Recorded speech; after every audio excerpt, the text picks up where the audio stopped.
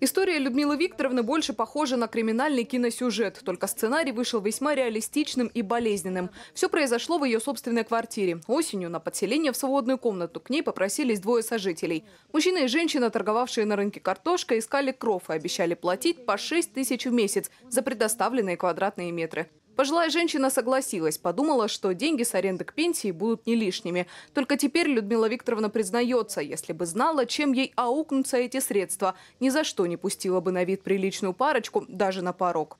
Я была на кухне, он, а потом это сама, пойдемте говорит, в комнату, и мне надо с вами поговорить. Ну, подошел ко мне и говорит, мне нужно 10 тысяч. Я говорю, у меня нету 10 тысяч. Вот, а он, и, ну, и тогда вот он вот здесь вот так вот достает из, из кармана ножик вот этот большой такой, такой здоровый этот у меня. Ну, обеденный такой, столовый ложек. Он говорит, я 17 лет отсидел уже. И мне тебя убить, это вот как это, как будто бы как расплюнуть. Я говорю, а за что ты мне убивать-то будешь? Месяц парочка жила спокойно, вспоминает пострадавшая. Может, ругались между собой, выпивали, но ее не трогали и особо не мешали. Поэтому и подозрений насчет того, что оба, как выяснилось, были судимыми, у нее не возникало. Готовила, говорит, на всех, часто только из своих продуктов. Надеялась, ответят добром, а ответили утюгом, приставленным к лицу. Я говорю, ну нет у меня денег-то таких. Она сидит и говорит, ну у нее еще золото есть. Давай, говорит, это с нее золото стрясем. Ну, он давай, это, с меня, давай, где у тебя золото лежит. Ну, я тоже им показала, думаю, пусть забирают. Я сейчас, говорит, это самое, с нее все равно выбью эти 10 тысяч. И вот пошел за утюгом. Принес это утюг, и мне вот так вот, ну, он холодный еще был. Он раз мне вот так вот к щеке приложил этот утюг и включил его включил и говорит, сейчас ты мне все скажешь и все отдашь.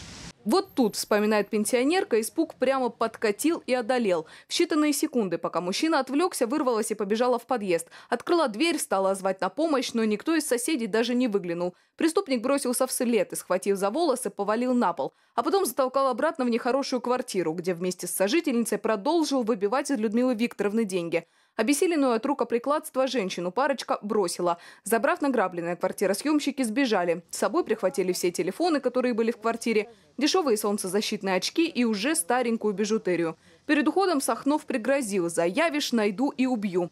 Узнав о произошедшем, дочь пострадавшей вызвала полицию. Спустя сутки разбойную пару задержали. Свою вину Сахнов признал сразу, пошел на сотрудничество со следствием и заключил досудебное соглашение. А вот его подельница все отрицала до последнего. На основании изложенного Прошу суд признать Иванову Миру Владимировну виновной в совершении преступления, предусмотренного частью 2 статьи 162 Уголовного кодекса Российской Федерации назначить ей наказание в виде лишения свободы на срок 6 лет.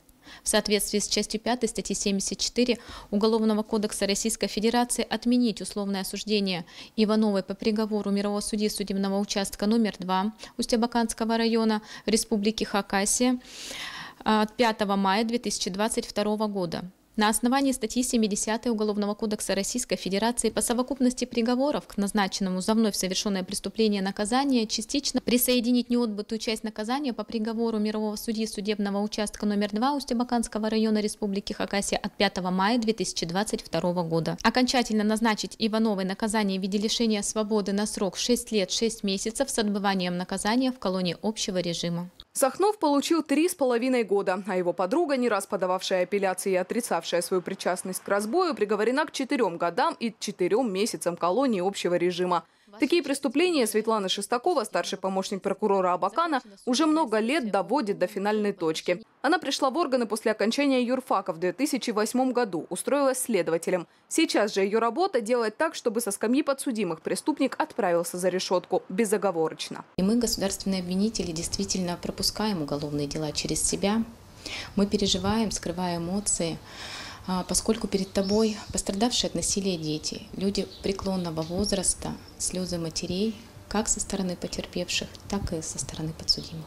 Самое сложное, делится Светлана, взять себя в руки, переключиться и после работы смотреть на людей простым взглядом. Жить обычной жизнью, психологически не нести домой детали разбойных нападений, убийств, грабежей, изнасилований.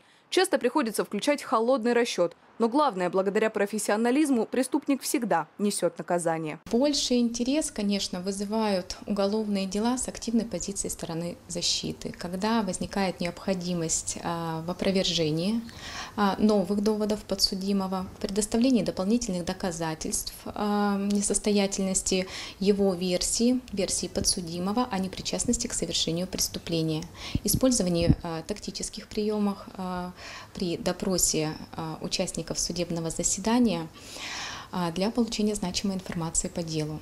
Чем сложнее и запутаннее дело, тем занимательнее процесс работы над ним, рассказывает Светлана. Еще интереснее доказывать вину подсудимых непрофессиональным судьям, присяжным. Вот здесь ты сам, словно вновь на экзамене, доказываешь уже свой профессионализм. Решаешь задачи по восстановлению справедливости, служишь закону и людям.